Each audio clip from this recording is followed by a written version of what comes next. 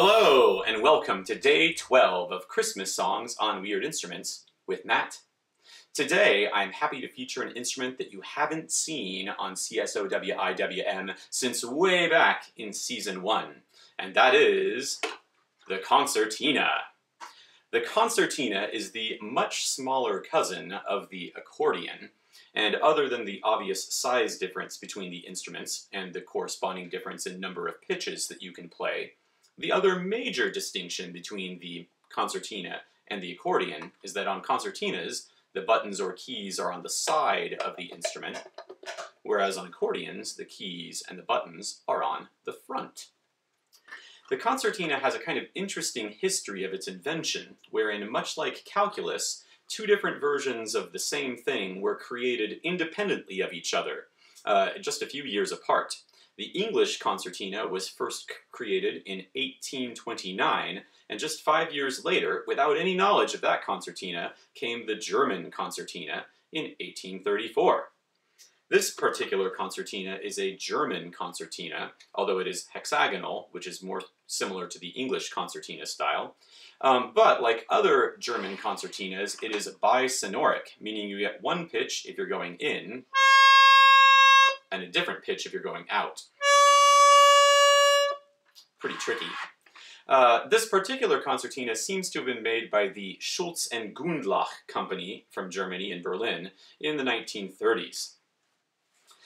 In trying to pick a good tune for this instrument, I discovered that stepwise motion was much easier than skips in uh, trying to play the concertina, and I was lucky enough to find a wonderful English carol, sorry German concertina, uh, that moves around mostly by steps.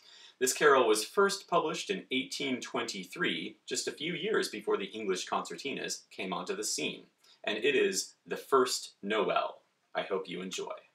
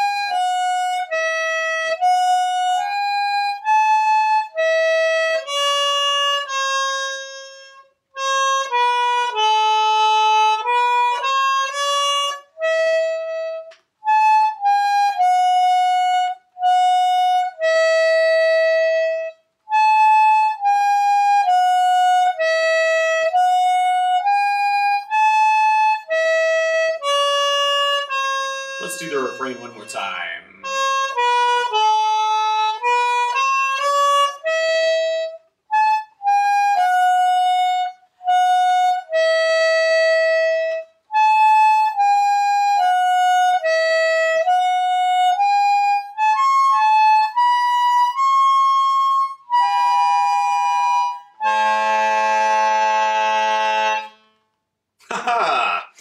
Even had a little extra harmony, more than I planned for, but it worked out.